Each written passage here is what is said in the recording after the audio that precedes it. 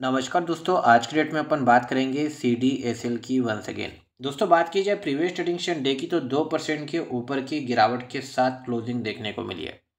और लगातार दोस्तों स्टॉक अभी अप ट्रेंड में है। गिरावट के बाद इससे पहले ऑलमोस्ट टू थाउज़ेंड के आसपास से ही सत्रह सौ तक का फॉल आया था।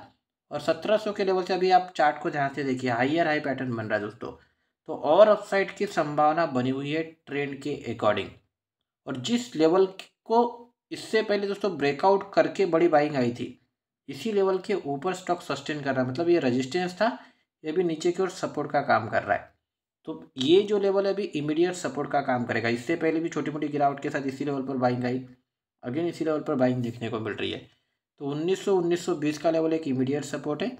मेजर सपोर्ट का काम करेगा, जहाँ से स्टॉक ने गिरावट के बाद 2080 तक के टारगेट दिखाया दोस्तों। इस हाई को ब्रेकआउट दिया है। वो रहेगा 1800 का लेवल तो इसके ऊपर जब तक है तब तक टेक्निकली अभी स्टॉक बुलिश है और जिस तरह से चार्ट पैटर्न बन रहा है अगेन ये जो हाई है बाउंस बैक करके ब्रेकआउट दे सकता है टू ज़ीरो एट ज़ीरो का लेवल तो ये अभी इमीडिएट टारगेट रहेगा। इसी लेवल पर नज़र रखना है।